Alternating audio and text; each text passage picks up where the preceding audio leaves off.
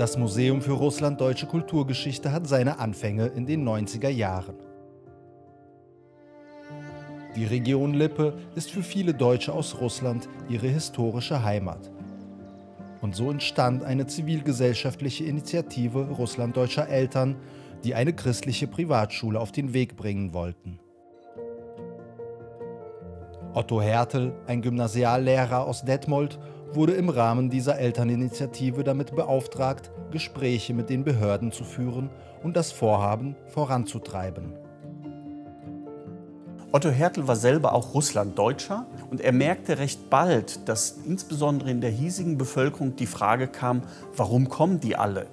Und so hat er so Infotafeln erstellen lassen und hat diese Infotafeln in Schulen, an öffentlichen Stellen immer wieder gezeigt und hat dann aus dieser Infotafelsammlung entsprechend den Gedanken gehabt, wir müssen eigentlich dauerhaft diese Informationen, wer sind die Russlanddeutschen, warum haben sie dort so gelebt, wie sie gelebt haben, warum kommen sie her.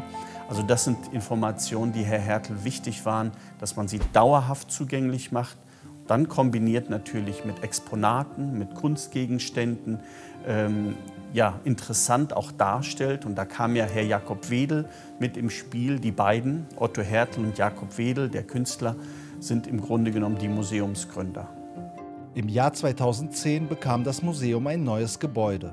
Später kamen Förderungen vom Land und vom Bund hinzu.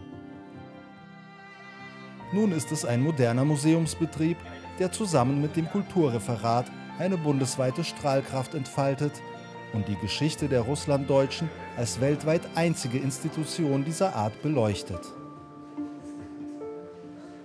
Wir wollen hier eine ganz, ganz vielschichtige und multiperspektivische Auseinandersetzung äh, ermöglichen mit dem Thema der russlanddeutschen Kulturgeschichte.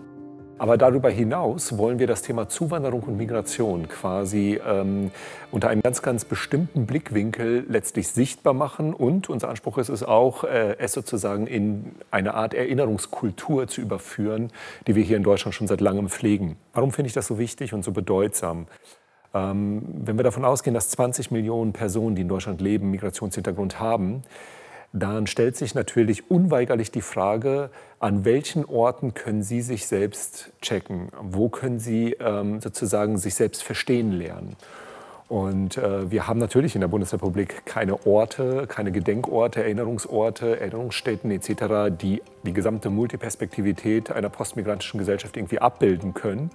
Und insofern finden wir es wahnsinnig spannend, quasi hier einerseits ein Museum klassischer Art zu sein, auch erlebnisorientierter Art zu sein, darüber hinaus aber auch ein Erinnerungsort zu sein, ein Erinnerungsraum zu sein, ein Ort des Selbstverstehens für Personen mit Aussiedlerhintergrund. Und das finden wir irgendwie spannend, so dieses Experiment durchzuführen. Inwiefern kann ein Museum tatsächlich auch ein Ort des Selbstverstehens darstellen und letztlich ähm, einem ganz erheblichen Anteil der, der bundesdeutschen Bevölkerung sozusagen letztlich auch so etwas wie ein, eine Heimat anbieten und auch die Möglichkeit letztlich ähm, sozusagen sich noch besser einbringen zu können in die, in die gesamte Gesellschaft. Wir bleiben aber natürlich ein, ein Museum für alle.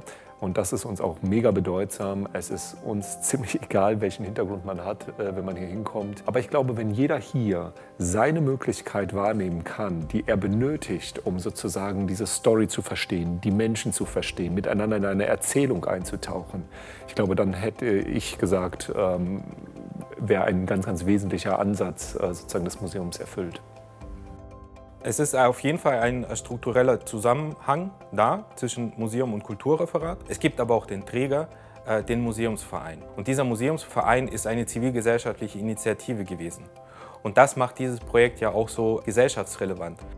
Die Aufgaben des Kulturreferates bestehen ungefähr in drei Bereichen äh, aus der Vermittlung der Kultur und Geschichte der Deutschen aus Russland, breitenorientiert und öffentlichkeitswirksam, zum anderen sind es Projekte hier mit dem Museum und am Museum für Russlanddeutsche Kulturgeschichte in Detmold.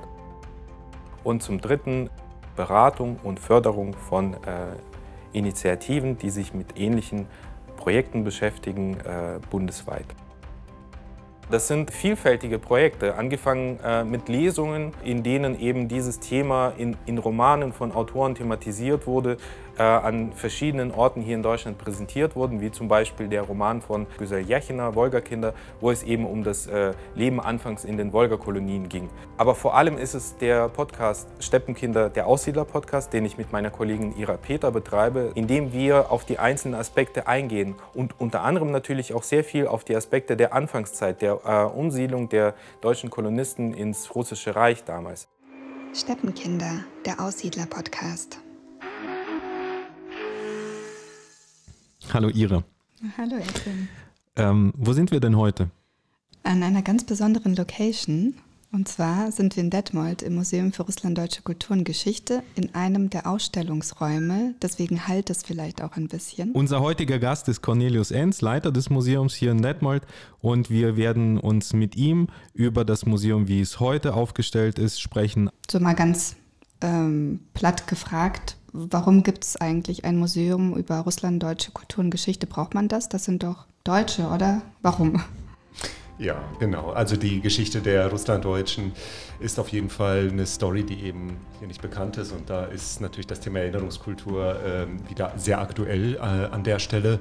Sprich, ähm, wir brauchen das Museum, um ähm, einen Teil deutscher Geschichte quasi zu etablieren ähm, und ein Stück weit auch zurückzuholen. Äh, die Menschen sind jetzt hier, aber ihre Geschichten noch nicht. Und insofern finde ich, ähm, hat das Museum durchaus äh, einen Riesenauftrag, ähm, nämlich ähm, diesen Menschen Geschichte zu geben und allen anderen Menschen, äh, die den Hintergrund nicht haben, einen Zugang äh, zu ermöglichen, einfach mit ihnen in eine Erzählung einzusteigen.